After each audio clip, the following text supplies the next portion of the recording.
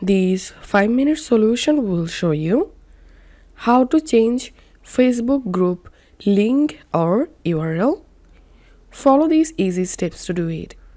First of all, make sure you are the owner or admin of the Facebook group.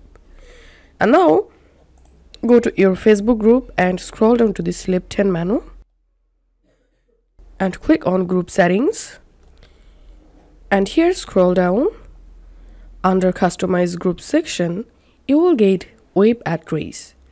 This web address is your group link. So to change it click on this pencil icon and in this box simply write a new group link.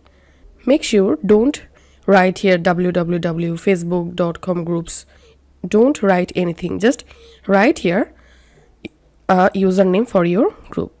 And note one thing that once your group has more than 5000 members you won't be able to customize your group link or address again. Now if you see this green check mark it's mean this name or link is available. Now click on save. Once it's saved now I'm going to copying this link and let's check it out. I'm pasting it in another tab and as you can see I'm in my group.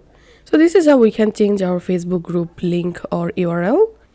If this video helped you out, please leave a like and leave a comment down below. Thank you for watching.